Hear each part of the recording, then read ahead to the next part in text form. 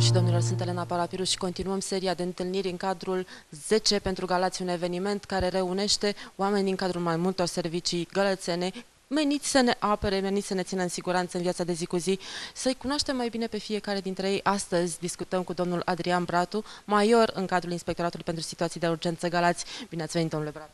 Bună seara! Bine v-am găsit!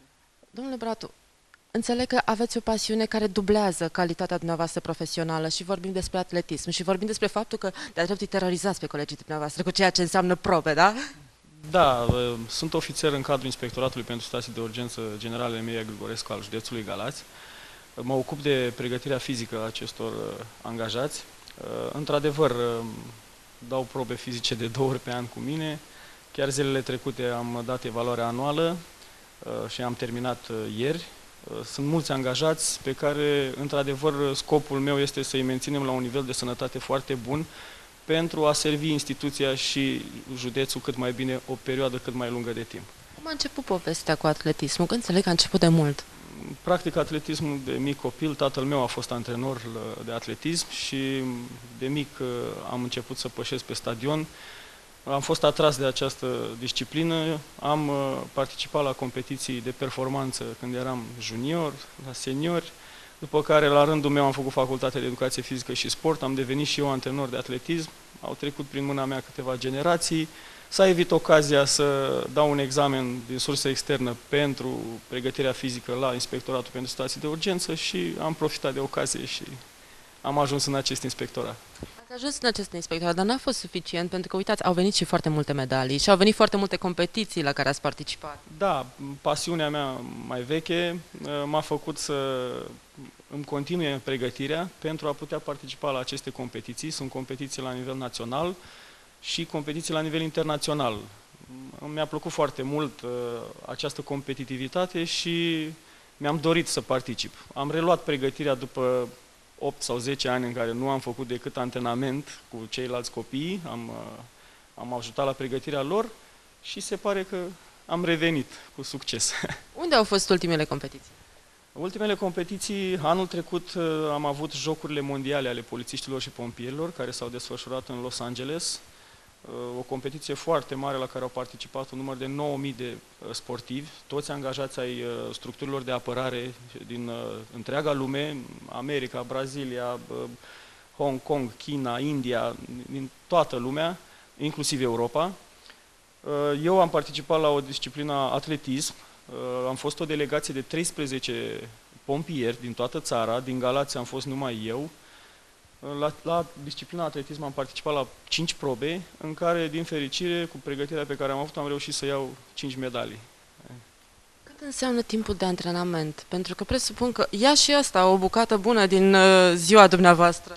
Timpul de antrenament, uh, cel puțin două ore zilnic. Uh, anul trecut, pentru aceste campionate mondiale, mă pregăteam seara, pentru că nu-mi permitea timpul, eram împuternicit șef serviciu, resurse umane, stăteam toată ziua la servici de dimineață până seara la șapte. După șapte mergeam la stadion și mă pregăteam până la ora 9, 9 și jumătate. Uh, era foarte greu pentru că n-ajungeam acasă decât să mănânc și a doua zi o luam de la capăt, iar la servicii, iar la... Dar pasiunea, când îți dorești ceva, trebuie să muncești foarte mult și sacrifici alte lucruri ca să poți să obții. Cum te motivezi când ești departe de România, când ești departe de casă, când ești departe de ai tăi? Sunt foarte mândru de ceea ce fac, îmi place foarte, foarte mult și mă gândesc la cei de acasă care mi-au dat un vot uh, înainte de a pleca, îmi spun, uh, își pun încrederea în mine și îmi doresc uh, tot binele să reușesc acolo. Este un pic greuț în afară pentru că această activitate, la vârsta pe care o am, uh, mă solicită foarte mult și atunci apar diferite accidentări și trebuie avut foarte mare grijă să mergi mai departe în așa fel, pentru că o accidentare te oprește din pregătire cu două, trei săptămâni.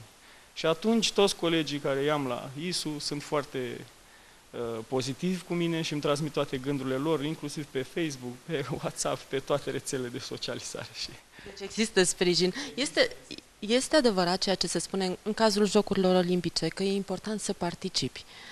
Eu văd și foarte multe trofee la dumneavoastră, dar cum stau lucrurile de fapt acolo? Vreau să vă spun că la mondiale, v-am spus, au fost 9000 de participanți. Se leagă niște prietenii între participanții dintr-o țară și alte țări foarte strânse, pentru că și ulterior când mergi în concedii te întâlnești cu ei, te cheamă, vorbești cu ei și chiar sunt foarte, foarte deschiși. În special în America a fost uh, ca o sărbătoare pentru ei. Toată lumea era atât de bucuroasă doar că se organizează la ei acest concurs. Era ca o sărbătoare și uh, încearcă tot timpul ca aceste relații uh, extra competiționale să se realizeze cât mai bine. Și din această cauză, eu cred că este un prilej foarte bun, de un schimb de experiență extraordinar, pe care înveți altfel de tactici, vezi alte echipamente care ne ajută pe noi foarte mult aici. Să aducem de acolo aici și să le folosim la nivelul nostru. Domnule Bratu, și există un fior special când auzim nu Bineînțeles, cum să nu existe. Vă dați seama, suntem foarte apreciați acolo, noi ca țară, noi de fiecare dată am fost cu o delegație destul de mică, 10-15 oameni față de alții care vin cu 200, 300, indieni au venit cu 500 de oameni, chinezii la fel, 500 de oameni, adică sunt foarte mulți participanți și noi o delegație foarte mică, de fiecare dată se aude imnul nostru acolo.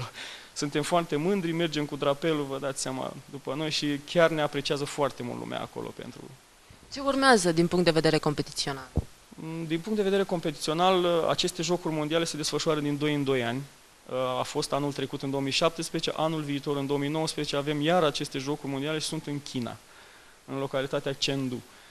Sperăm să ne pregătim bine, să ajungem acolo și să facem iar uh, rezultate deosebite pentru... Mult succes în tot ceea ce urmează să faceți și felicitări pentru ceea ce s-a întreprins deja. Și da, ne faceți să fim mândri și că suntem români și că suntem gălățeni. Uh, așa este și, și eu mă bucur foarte mult că reușesc, este încununarea muncii mele și a tuturor, a sprijinul colegilor mei. Chiar și de la nivel național, noi avem o asociație, județean, o asociație națională a pompierilor care ne sprijină la un moment dat. În anumite condiții, când obținem anumite medalii, chiar ne decontează aceste cheltuieli, pentru că de multe ori cheltuielile sunt suportate de noi. Rămânem cu ochii pe dumneavoastră, domnule Bratu, și vizionare plăcută în continuare, doamnelor și domnilor. La revedere!